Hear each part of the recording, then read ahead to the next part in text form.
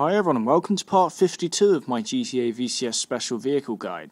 Now in this video I'm going to show you how to obtain fireproof, tip-proof, pop-proof, exclusive colour Infernus sports cars from um, the Turismo mission. Now, um, the process to get this is pretty complicated, just like the cheetah, you know, because you can't snipe the driver out of the car and get in it on time. So we're going to have to do the same thing that we did with the cheetahs, and that is to um, leave the island and come back, because then the cars at the start line will be flipped over. But there's some slight differences between obtaining this and obtaining the cheetah. Um, obtaining the cheetah, we use the Sand King to push it kind of across the beach in the previous part of the special vehicle guide. Now, the Sand King cannot push the Infernus at all because it's too big and um, which means that the option of pushing the Infernus across the beach is not not feasible really. Well, it can be done, but it just takes a long time. And um, where the start line is located, there's a pond that you can push the Infernus into, and there's a really good trick because you can just use an ordinary car to do this because it's on the road. And um, before you push it in this pond, we're going to flip it on its wheels um, and then you can very carefully push it in the water without activating the race. Well, I'll go through all this anyway, step by step, in a minute, but it's um, it's pretty complicated to explain. So basically, the reason we're not using the Sand King is because it's just too big, and um, it doesn't push the Infernus very well, and you know, pushing it all the way across the beach is not feasible anymore. So we're going to do a slightly different approach. I'm pretty sure even a um, even an Infernus itself can push the Infernuses really well. Maybe I'm going to use one of those.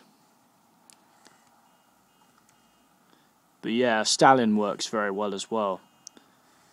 Just basically pick a car that can pu can push um, an Infernus well. It just depends completely because this game, you know, for example, you know, a big truck might not put might not push the Infernus very well, and it might stick a lot and just kind of you know not move. It's very very sporadic and random. Uh, I don't know why. It's just quirk of the game. Oh, if I can get to the damn start line. Right, I'm at the start line as you can see. Every single Infernus is an exclusive colour, so for a laugh I'll just get the white one because it's actually the same colour as Lance's and it's very fun to compare afterwards. So what we're going to do is we're going to push the Infernus down this road until we get to here, where that square is, basically. There's a pond just in front of a bridge. So um, gradually just take your time. Do not, if you can avoid it, flip the Infernus on their wheels.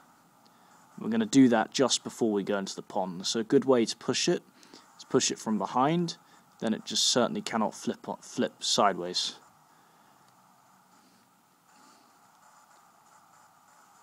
So as you can see, very nice. Basically, if you push the Infernus and it flips onto its wheels, um, you might as well restart because you're going to have to spend a lot of time pushing it to the water. Because if you if you tap it even like that, the race will begin the cars won't stop driving, and um, chaos basically. And it's really complicated because in VCS, unlike LCS, the cars lose their properties if they finish one lap of the race. I don't know why this happens, but it just does. So this is why we can't activate that race. Whatever you do, just do not activate the race. It's a bad idea. Right, you should be able to see a bridge ahead of us.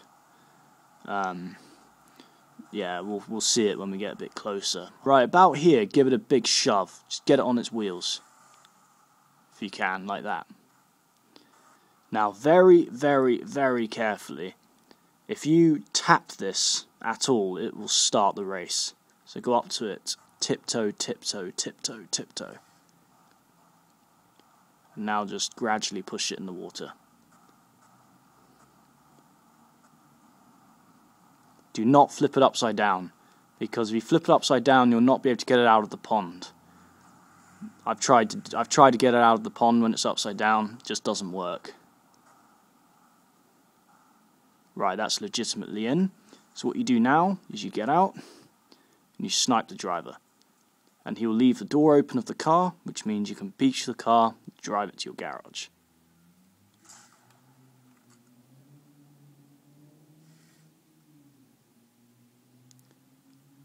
So yep, the Infernus still remains in the water. Now we just have to get it out. And as you can see, the door is open. Because basically with the cheetah, what I did is I uh, is um, on the beach. There's very little traction with the Sand Kings, so it was very hard to flip the car on its wheels. So um, basically, we destroyed the car in the water, and because um, we failed the mission without killing the driver, the door of the car remained shut. So we had to push the car all the way back to the garage. Whereas luckily this time we don't. Maybe push it so it's facing the um, facing the shore, and then push it from the back. And gradually it should work its way out.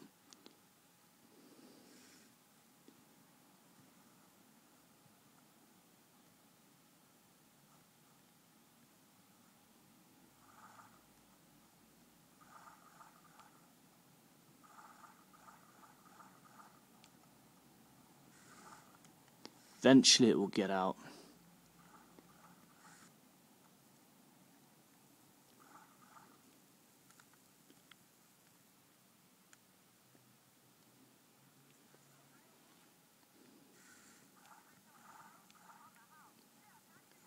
Yeah, there we go. It's starting to come out.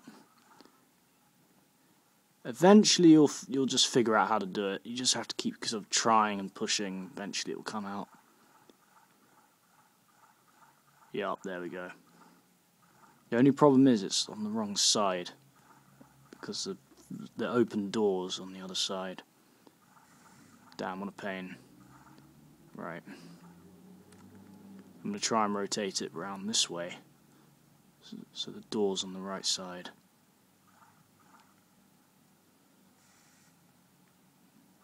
Got to make sure that both of the um, both the wheels are on this part of the land like that. There we go. Even though it's a bit wavy, I should still be able to get this out. This could be a little tricky.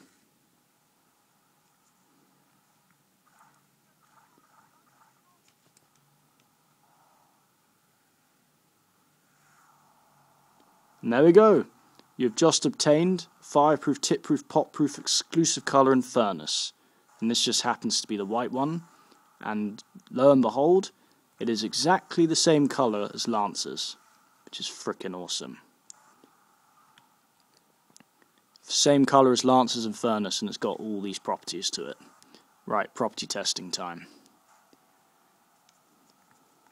Pop proofing.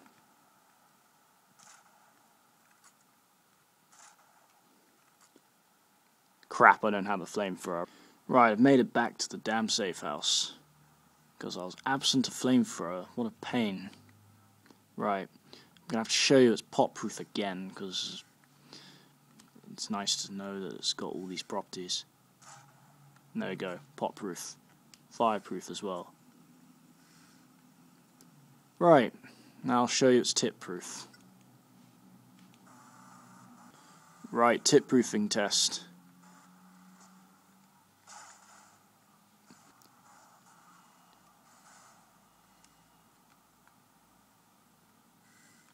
And there you go guys, that is a tip-proof Infernus. I hope you managed to do this, um, if not then you're just going to have to keep trying. You will get it eventually, I promise, it's not impossible, just um, it's an awkward, tricky manoeuvre. Anyway, I hope you enjoyed the video, and thanks for watching. Bye.